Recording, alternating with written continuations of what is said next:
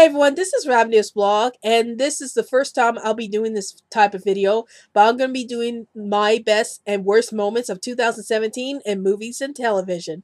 And before I get into this video, I would like to remind everyone that new videos will be posted up every Sunday. It could be Sunday morning, Sunday night, or Sunday evening depending when I can get the videos posted up. And if you haven't seen any videos posted up during the week, that must mean there was a bit of TV show or movie news released during the week that I wanted to cover. So those would be considered special videos. And every Monday, I would have the um TV episode roundup series where I go over all the TV episodes I review for the week and I go from worst pick of the week to best pick of the week. So those will be posted up every Monday. So now um, I'm doing this new video series called The Best and Worst Moments of this year. And I have decided to do the best and worst moments of 2017 in, in terms of movies and TV shows. So let's get started with the best thing that happened this year.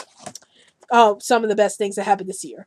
Um, so, and this is in no particular order. So the first thing we got is the Wonder Woman movie. So the reason why this is one of the best things to happen out of 2017 is because it was like one of the first female superhero movies that did very well. Like um in the past they have made some female superhero movies and most of them didn't do that well. But um then we have Wonder Woman which came out this year and it did so well. Um Gal Gadot did such a good job portraying Wonder Woman and I think the writing and the direction was so fantastic. Um and again um Wonder Woman was that superhero superhero um, movie that's led by female that like gives uh, us hope that you know there could be um, better female led superhero movies. And i think this movie really proves that. And um, again we get um, a good portrayal of wonder woman herself as a character in this movie. So i like the fact that we have a wonder woman movie that's very well portrayed and i think this movie did a good job. So that's um, definitely a positive thing for this year is the wonder woman movie. And then the second thing I wanted to talk about is the sexual harassment in Hollywood open people's eyes. So um, this also ties in with the worst thing that happened this year. But the reason why I say that the sexual harassment like um, is uh, part of the best things on Hollywood is um, more like um, the sexual harassment accusations that's going on or allegations that's going on in Hollywood. It's like making people open their eyes to seeing what's going on in Hollywood and um, how they can like try to change the um, the ways that um, Hollywood is being done in the workplace. And I think um, because of all these sexual allegations going on uh, towards various actors, it would help people realize, you know, we got to do something about this. We can't let this go on any longer. You know, we don't know why Hollywood um, has this thing, you know, let this thing go on notice. So now we're going to try to do something about it and we're going to try to uh, make the workplace better for women and for everybody in general and, you know, put down you know the sexual harassment that's going on in Hollywood. So that's one of the positive things about the sexual harassment um, allegations going on throughout Hollywood is that it opened people's eyes about what was going on, and hopefully in the near future, you know, um, Hollywood would do something to like stop all these sexual harassments and actually try to um, make the workplace better for everybody. Then the last best thing that happened this year is Spider-Man Homecoming. So what was so good about this? Um, it finally um allows Spider-Man to be back in the Marvel Cinematic Universe because Sony made this deal with um, Marvel that says, you know, you could borrow um Spider-Man for some of your movies. Excuse me. And um we could still have the rights to Spider-Man, but you could go ahead and use Spider-Man for your movies. So now we finally get Spider-Man in the Marvel Cinematic Universe, and um, I hope we see more Spider-Man in the um, Marvel Cinematic Universe in future movies. So now let's move on to the neutral or in the middle type of news that um, moments that happen in this year.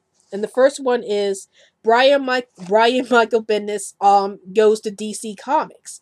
And um I'm surprised that this became a big news for this year because, for one thing, uh, I would say Brian Michael Bendis Brian Michael Bendis is like uh, one of the few writer comic book writers to get um so many tweets on Twitter. Like um he was like one of the highest um tweets on Twitter, which surprised me because normally a lot of comic book writers don't get a lot of um don't rate very highly on tweet on, on Twitter that much when it comes to tweets. But um his was um the most surprising because he got the most tweets, and um um, I think it's because he has um his works have a lot of influence over Marvel. Like he was responsible for I think cre- starting up the Ultimate you uh, Marvel universe with his Ultimate Spider-Man run, and then he created the character Miles Morales for the um Spider-Man universe. So um he had some um, a lot of stories that really changed the face of Marvel universe.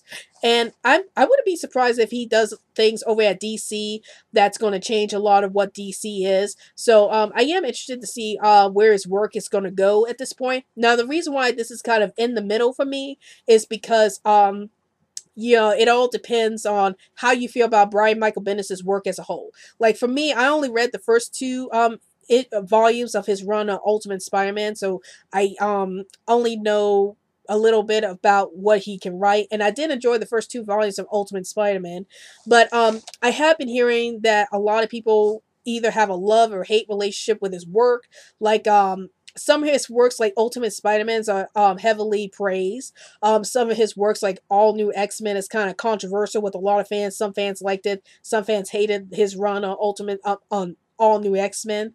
So um it all really depends on how you feel about Brian Michael Bendis' um works in on um comics in general. You know, do you like his work? Do you hate this work?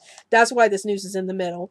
Um another news that's in the middle is Disney um purchases or Disney buys um Fox properties and TVs and movies.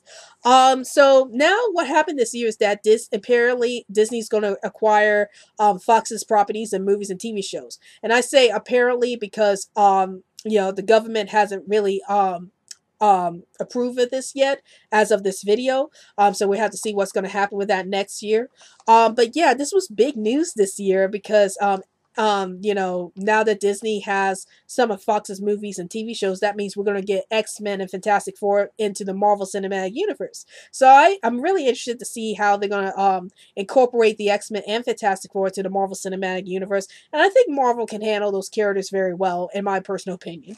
Um, now, here's where the you know the bad thing or the um controversial thing really happens and um it's that in my opinion, you know, it could mean that Disney's that close to becoming a monopoly, you know, with them um taking over some of Fox's um movie and TV show properties. So that's my um biggest concern about all this.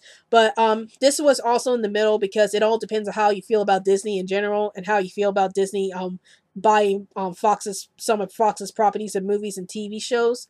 And um I heard some people have been complaining about well if Disney gets hold of the of the X-Men then um excuse me, then um, they're going to make the X-Men lighter and softer. We don't want to see that. So that was some of the complaints I've heard about Disney possibly acquiring the X-Men is that they're going to make them lighter, softer. Same thing goes with Deadpool 2. You know, what is Disney going to do with Deadpool, especially since Deadpool is rated R and is like one of the more mature superhero films out there. So I am curious to see what um, Disney's going to do with those two properties once they get their hands on it. So um, that's, um, again, it um, neutral type of news. So it all depends how you feel about Disney as a whole. Okay, so now let's move on to the worst things that happened this year. So, of course, the first thing that's major that happened this year was the sexual allegations going on in Hollywood.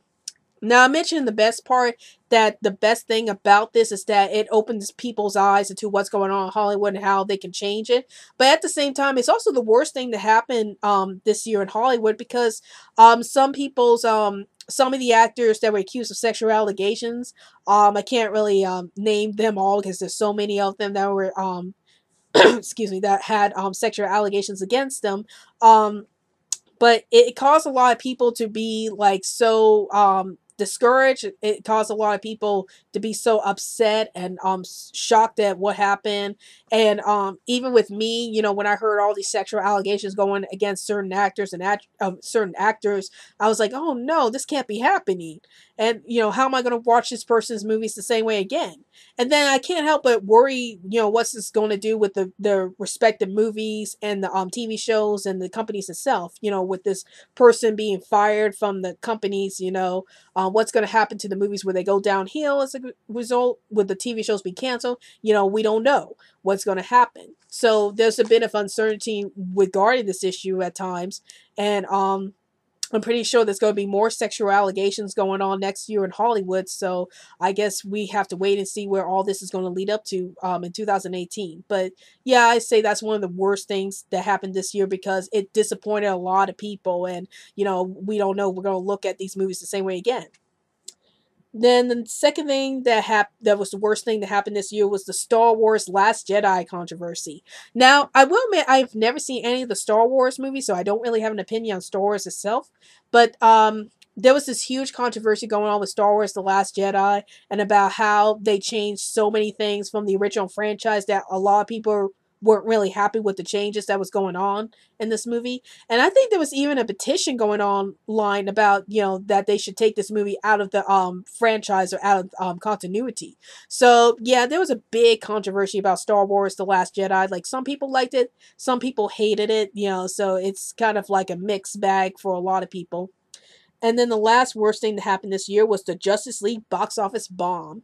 So, um, again, this was another movie that was controversial with a lot of people. Some people liked Justice League, some people hated Justice League, but um, there was the box office numbers, and it didn't do that well, which is really bad for DC and Warner Brothers. So, um, it makes me wonder what's the future of the DC cinematic universe going to be with Justice League bombing. You know, with um they have to start over again with their uh, movie slate, and I worry about that because what is going to happen to Wonder Woman? Because I feel like Wonder Woman was like one of the few DC movies um of this day and age, or at least one of the few DC movies in the new cinematic universe that was doing so well, that was actually written very well, and I worry that they're going to take that out of continuity, but. I don't see them really taking Wonder Woman out of continuity in um in honesty.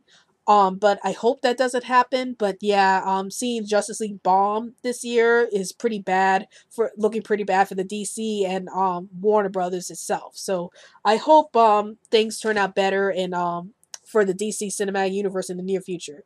So that's my best and worst moments of 2017 in movies and TV shows. And tell me in the comments below what are some of your best moments and your worst moments in 2017 regarding movies and TV shows. Please feel free to comment below and don't forget to follow me on Twitter so I can keep you updated any new videos I post up. And also like my Facebook page.